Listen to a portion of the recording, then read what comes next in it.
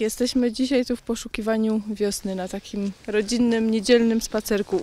No, myślę, że w kwiatkach y, słońce świeci, także jest fajnie, miło i przyjemnie.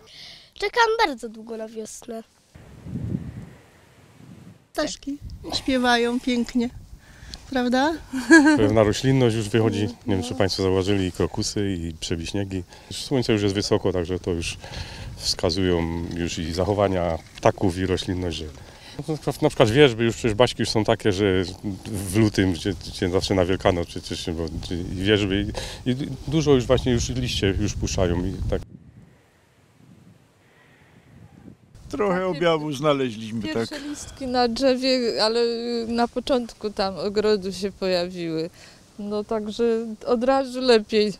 Bardzo lubimy gdzieś spacerować, także jak tylko już jest cieplej, to, to od razu jest weselej. Z wiekiem doświadczamy tego, że, że właśnie po zimie to jest potrzebny ten ruch, bo to od razu no, te siły wracają nam do życia i w ogóle.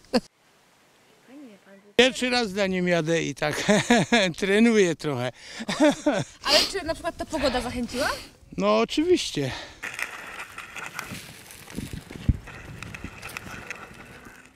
No już tak człowiek y, czuje energię do życia, tak po tej długiej zimie w końcu to słońce wyszło.